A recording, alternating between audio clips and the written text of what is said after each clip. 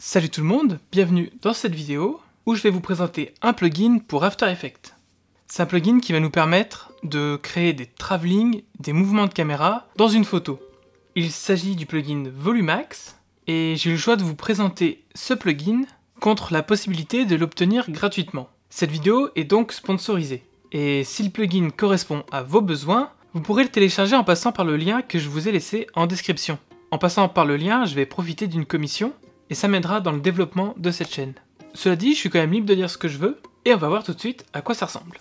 Alors, quand vous recevez le plugin, vous n'avez en fait rien à installer. Il s'agit d'un fichier que vous pourrez ouvrir directement sur After Effects. Une fois ouvert, il est conseillé de tout de suite faire une copie du fichier pour ne pas écraser le fichier original. Et vous avez donc quatre fichiers.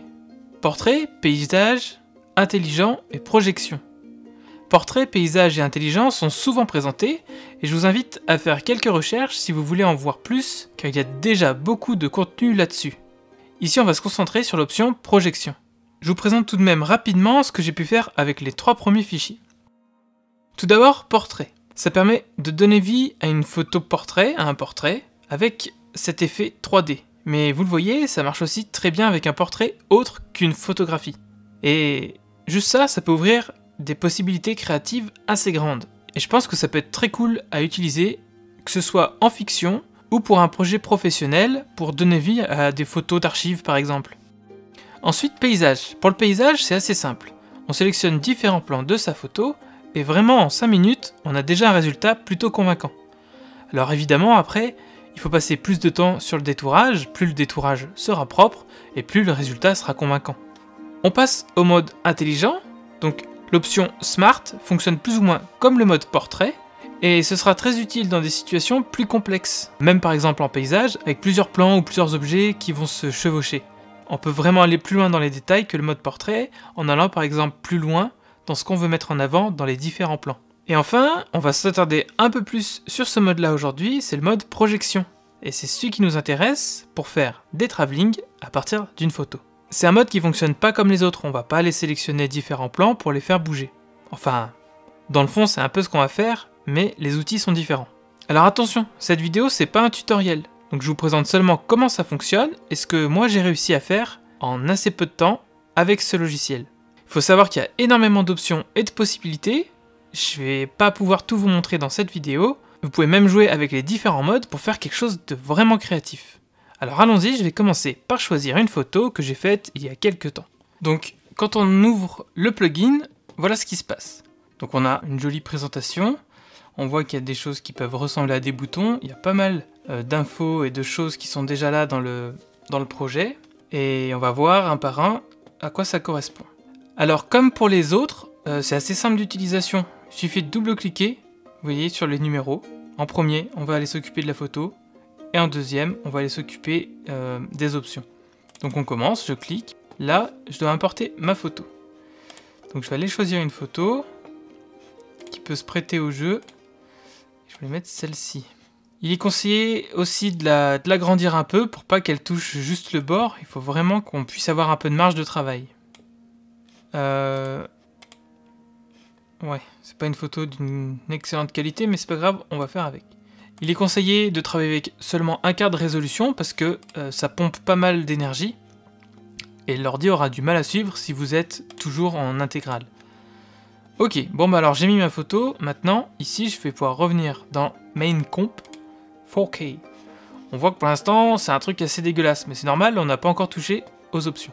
Donc on double-clique sur Setup. Et qu'est-ce qui se passe? C'est quoi ce truc? Et eh bien tout simplement, en fait, l'outil projection va projeter sur un élément euh, en trois dimensions. Donc là, vous voyez, on a plusieurs vues de cet élément-là. Et en fait, chaque carré correspond à un plan. Donc euh, là, l'idée, ça va être de, faire correspondre chaque plan qui va aller euh, dans chaque carré. C'est pas très clair comme j'explique, mais vous allez me voir faire. Donc la première chose à faire, ça va être de caler le carré rouge avec euh, le fond de notre plan.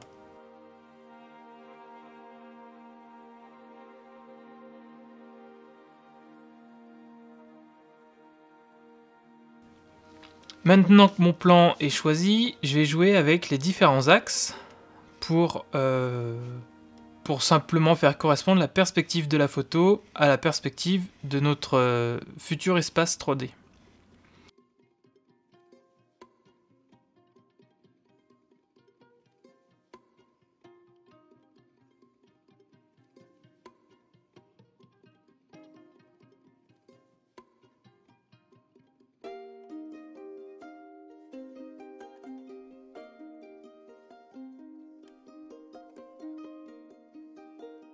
Ok, donc je reviens dans la composition principale, et normalement, si je bouge ça... Donc là, vous voyez qu'on est dans notre image. Ça marche plutôt bien. Et on peut aller zoomer dedans. Alors là, euh, je le redis, c'est pas que l'image est floue, c'est qu'on est à un quart de résolution.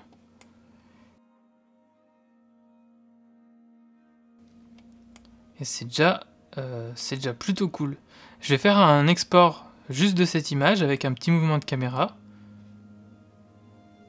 Il y a forcément quelques petits défauts, mais en fait, euh, vraiment, le, la sensation de 3D, elle fonctionne plutôt bien. Après, encore une fois, j'ai fait ça super vite. Et je sais qu'on peut s'attarder un peu sur les détails. Et justement, c'est ce qu'on va essayer dans un deuxième temps. On va essayer d'intégrer euh, un objet au milieu de cette pièce.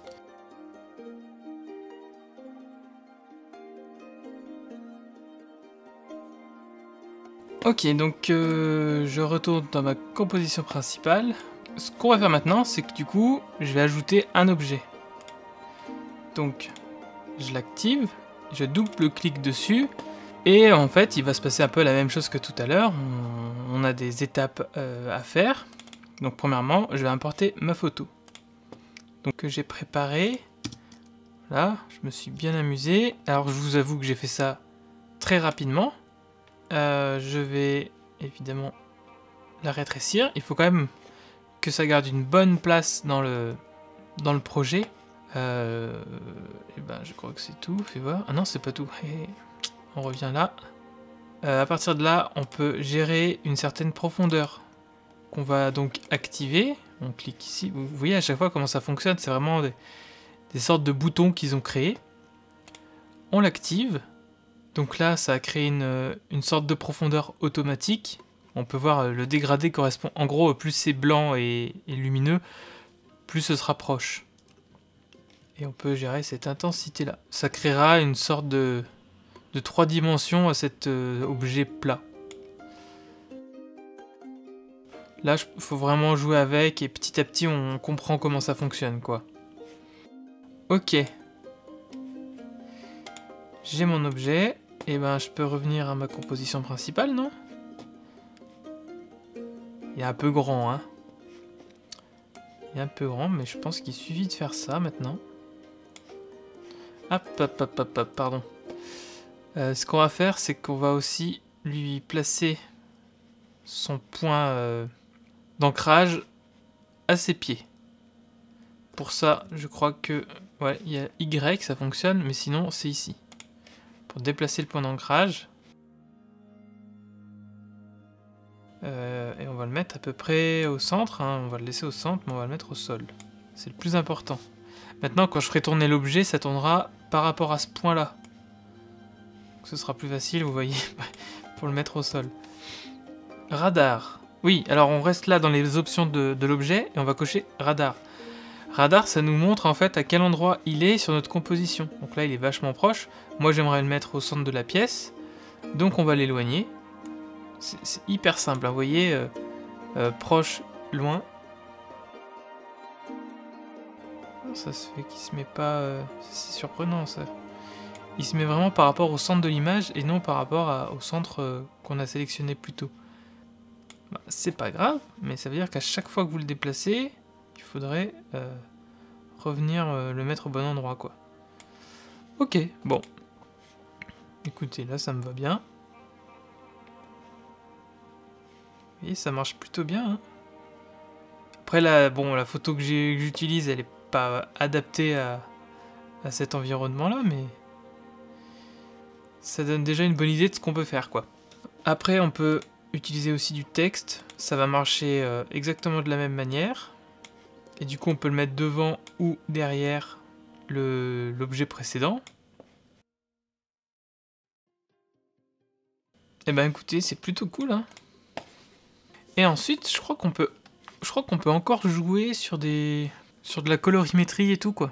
Ah bah je suis con, c'est là. Là, on peut s'amuser encore avec de la colorimétrie. Et alors, euh, il y a plein d'autres options, par exemple. Ça, alors c'est... Attendez, je vais remettre en couleur. Ce genre d'options qui permettent d'ajouter des flares. Mais ça marche plutôt bien, hein.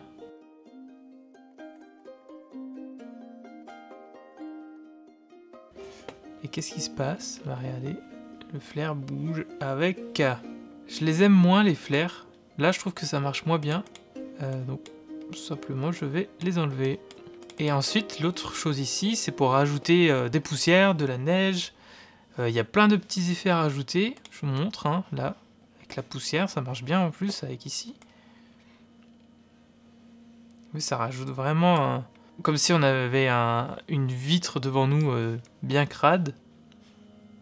Ah, c'est cool, c'est cool, c'est cool. Oh là là, il y a plein de choses. En fait, c'est hyper complet, en fait. Ça n'en finit pas. Du coup, je vais reprendre mon petit mouvement de caméra. Bon, évidemment, ça va être hyper cheap, là, parce que j'ai fait ça très vite pour, euh, pour plus vous montrer tout ce qu'on pouvait faire avec. Euh, dans l'idéal, il faudrait que je retouche un peu les couleurs du perso. Euh, le texte, c'est pareil, il est fait à l'arrache.